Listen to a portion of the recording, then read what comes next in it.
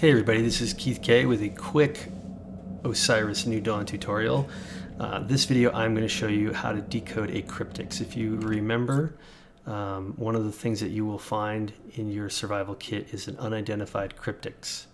So you get, you see it says three chances. I'll show you what that means. Right now I'm inside my inflatable dome.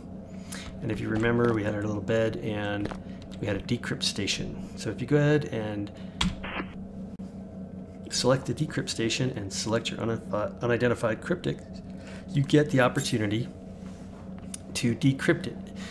And you'll have three chances with 35 moves. And essentially what you need to do is probably pretty obvious, right? Is figure out how to get a straight line from here to here.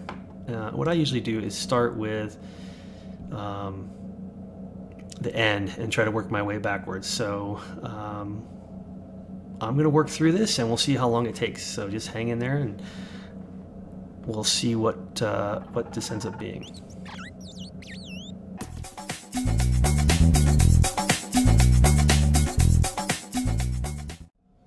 Alright, you might have noticed I got attacked in the middle of that, so we're going to try this again.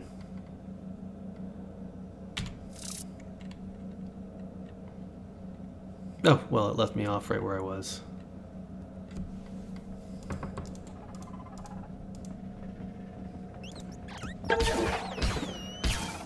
All right, there we go. We have decrypted our Cryptex. And now I'm waiting for it to...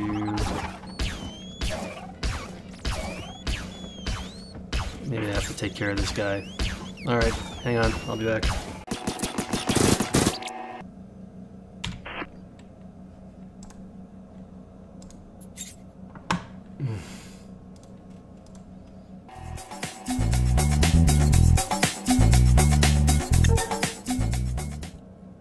Okay, that's what we were looking for. So once you get the path worked out, it tells you what it is you unlocked. So we unlocked path light cryptic. We cryptic, so we now know what that is.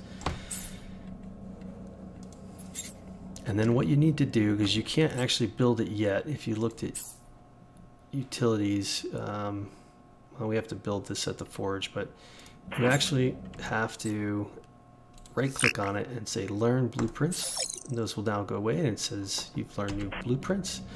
And when you go to the forge, I have no idea if we'll have the materials for it, but you will see a path light kit. Alright, so that was what should have been a short tutorial on decrypting your Cryptex. Again, if you uh, want to see more tutorials, if you're enjoying Osiris New Dawn, um, you know, please like and subscribe, leave some comments. I will read through them, and uh, check the game out on Steam. All right, see you soon.